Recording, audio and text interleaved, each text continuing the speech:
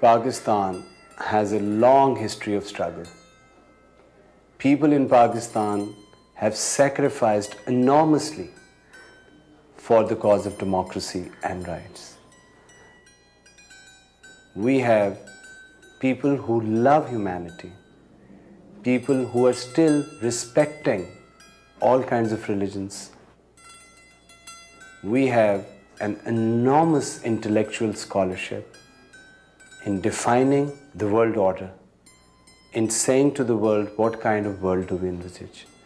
And we are talking to people all over this country that this is the time, let's get together and fight out the forces of evil in Pakistan.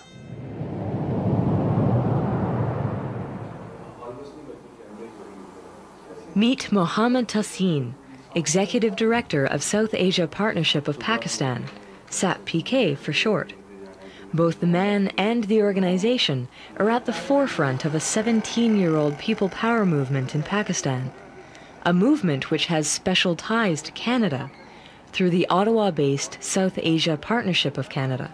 We put together a group from all over the country, whether from women's movement in Pakistan or from labor movement or other civil society movements. It took us about one and a half year to decide yes, let's have people to people dialogue. Let people of various South Asian countries meet and advance and then promote their agenda, which is the agenda of peace and working together.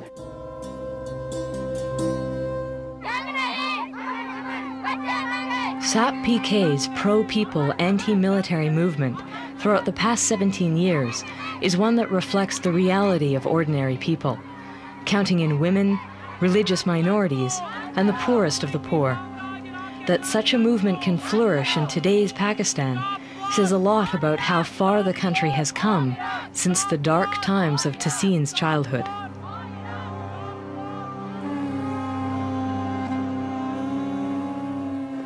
Sixty thousand plus people in eleven years were either whipped, killed, tortured. I mean, or they left the country. I mean, 60,000 is a big, big sum in 11 years.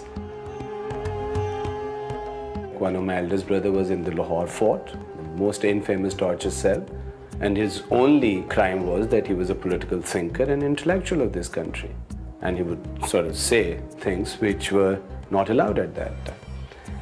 Uh, two of my sisters, uh, they were hiding somewhere, uh, trying to avoid the military. My brother-in-law was in the jail. Every second day you will have midnight knocks at your place with military trying to look for my dying father.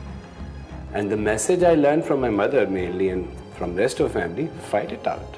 I mean, this is the time to fight.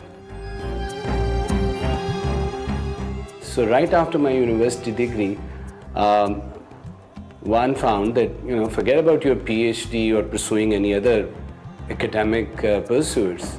You are needed here.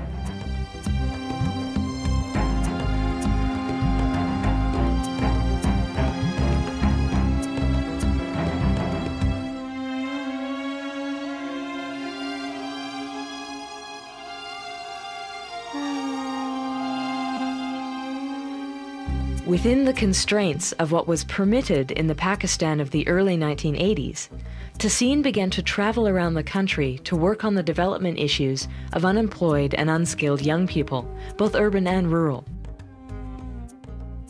It was during these travels that he happened to meet people from South Asia Partnership Canada, who eventually did persuade him to start SAP Pakistan.